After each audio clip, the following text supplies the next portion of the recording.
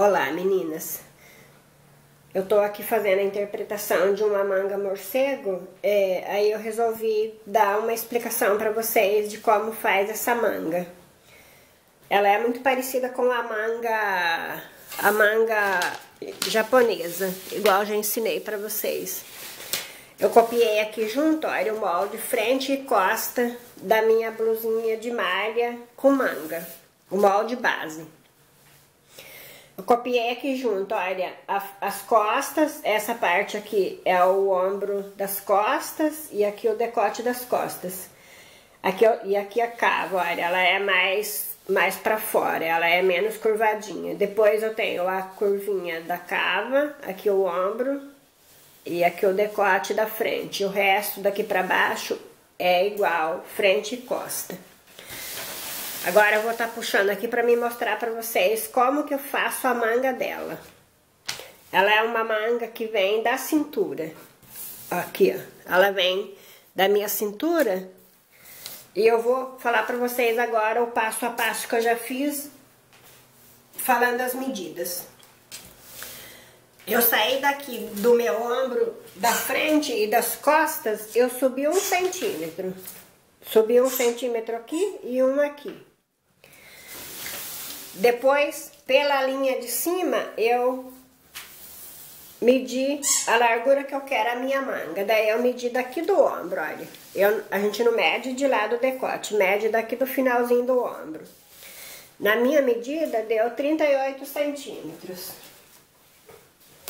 Né, eu, é, dá um pouquinho abaixo do cotovelo, é quase uma 3 quartos, só estar tá colocando um punho depois. Olha, deu 38. Daí, eu coloquei a régua e fiz daqui de cima, olha, daí eu peguei daqui da pontinha do ombro, olha, dos dois, da frente, da frente e das costas. E segui com duas retas, olha, primeiro essa, depois aqui. Eu esquadrei essa linha, olha, e marquei o comprimento do meu punho, que é de 26 centímetros. Eu marquei só a metade, olha. Marquei. Marquei com 13 centímetros. Aqui eu tenho que explicar certinho, olha. Então, eu não marquei nem nessa linha e nem nessa. Porque a metade da minha manga vai ser aqui. Se essa linha vai dobrar nessa, se essa daqui vai costurar nessa, aqui vai ser o meio, porque as minhas modelagens tem 4 centímetros de, de queda do ombro. Então, ela é para parte da frente, na parte da frente, ela é 4 centímetros, medindo lá no ombro. Ela é 4 centímetros aqui, olha. É óbvio que aqui ela vai aumentando a linha ela vai crescendo a linha, ela também vai ficando um pouco maior. Mas então, voltando aqui, eu vou medir, eu medi daqui, olha, desse pontinho que é o meio, olha como que eu fiz essa medida. Eu cheguei aqui com 5 centímetros, coisa que aqui é 4. Daí eu marquei 2,5 e marquei os 13 daqui pra baixo. Olha, vocês estão vendo que até passou aqui porque eu, eu faço uma linha sem definição de tamanho. Então, daí eu marquei a área 13 centímetros e fiz uma reta, fiz uma reta lá na cintura, olha. Depois marquei a metade. Com a fita, eu vim aqui, coloquei assim numa reta e marquei Marquei aqui a metade. Daí, nessa metade, eu subi uma linha de 5 centímetros. Olha como que eu fiz. Com essa reguinha, eu fico mexendo no papel, daí eu tenho que ficar olhando pro vídeo, ver se tá dentro do quadro. Eu saí de curva da minha cintura, passei por esse pontinho, depois eu virei minha régua, assim, e continuei na manga. Então, aqui eu tenho o meu punho. Aqui eu vou ter uma medida, como eu já expliquei, que aqui vai dobrar pra cá, eu tenho 13 centímetros. Eu vou passar o molde da frente e cortar em outro papel e recortar as costas nesse mesmo e volto mostrando para vocês, porque eu vou estar tá fazendo um punho para essa manga e vou estar tá fazendo o decote canoa. Vocês pedem para mim fazer a interpretação do decote canoa, eu vou estar tá fazendo nessa blusinha aqui. Eu vou tirar o molde e volto mostrando para vocês. Bem, meninas, então tá aqui meu molde, olha, eu já tirei a frente e as costas, olha, a frente eu passei num papel limpo e as costas eu, eu recortei, então ele fica dessa forma, olha. É assim mesmo, a parte das costas minha, a manga é maior. Eu saí com a manga maior porque lá no ombro também ele é maior, então ele ficou assim, olha. Aqui eu tenho a manga e aqui eu tenho o corpo da, da minha blusinha, que ele começa lá na cintura, olha. Eu vou fazer Deixa eu pôr assim pra vocês, vai ficar melhor. Olha. Então, é aqui a minha, minha blusinha, é isso daqui, olha. Assim ficou melhor pra mostrar, ó. Aqui a manguinha, olha. Pra vocês entenderem, porque isso gera uma confusão, esse negócio de ombro maior nas costas.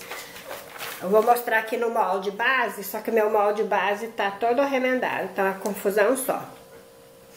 Quando eu falo que o meu ombro das costas é maior, vocês vão entenderem isso vendo nas minhas modelagens que eu fiz aí, tanto na pra malha como pra tecido plano.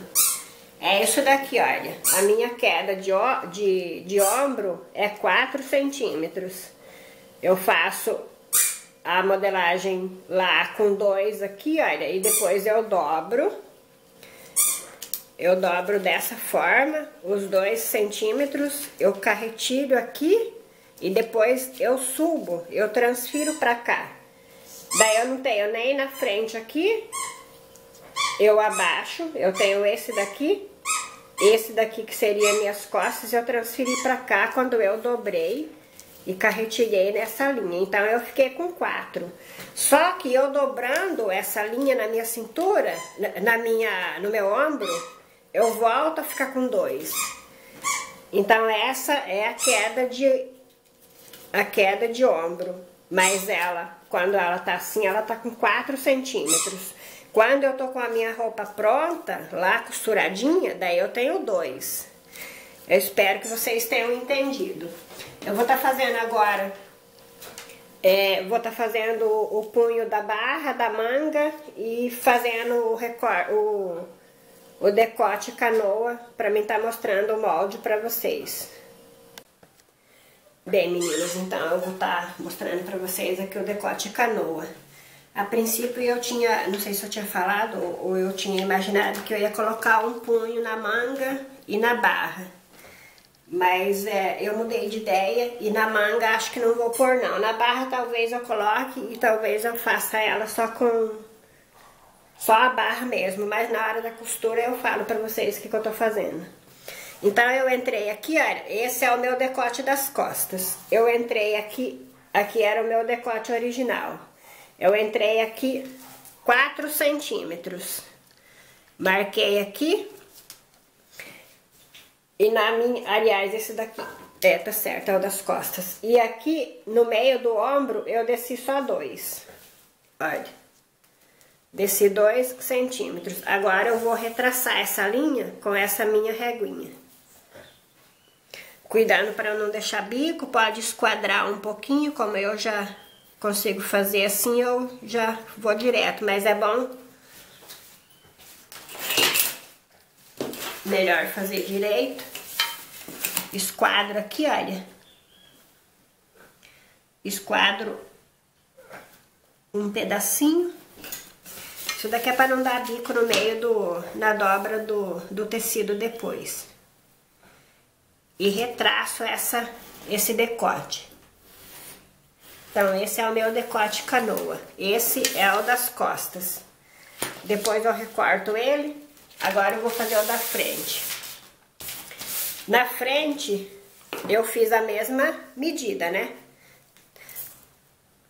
4 centímetros. E aqui, olha, aqui eu não, não vim aqui no decote, não. Eu vim aqui no meu cantinho, onde desce o meu decote. E marquei, marquei 4 centímetros também.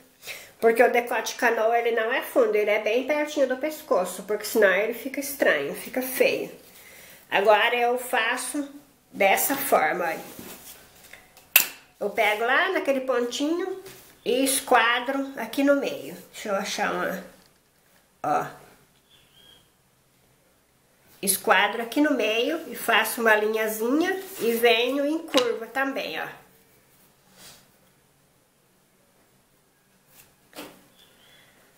Faço isso. E esse é o meu novo decote, que é o decote canoa.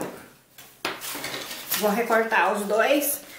E pra, aqui deixa a margem de costura para fazer uma barrinha de um e meio. E o resto todo deixa 0,5, meio centímetro só.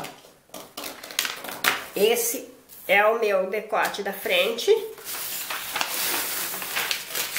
E esse é o meu retraçado do decote das costas.